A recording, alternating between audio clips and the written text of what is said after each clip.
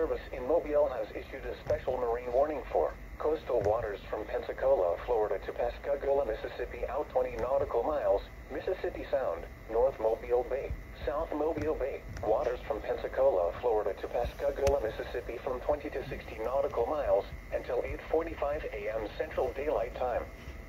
At 6.45 a.m. Central Daylight Time, strong thunderstorms capable of producing waterspouts were located along a line extending from 21 nautical miles southeast of Chandeleur Sound to 45 nautical miles east of Pilottown, moving north at 30 knots.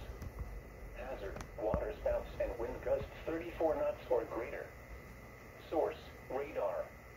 Impact, waterspouts can easily overturn boats and create locally hazardous seas.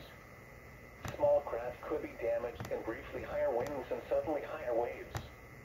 Locations impacted include Sand Island Lighthouse, Bon Secour Bay, Farewell Buoy, Middle Bay Light, Mississippi Sound east of Pascagoula, Heron Bay, Point Clear, Central Dauphin Island, Dauphin Island Bridge, and Fort Gaines. A tornado watch remains in effect until 4 p.m. Central Daylight Time for southwestern Alabama and the adjacent coastal waters. Thunderstorms can produce sudden waterspouts. Waterspouts can easily overturn create locally hazardous seas. Seek safe harbor immediately.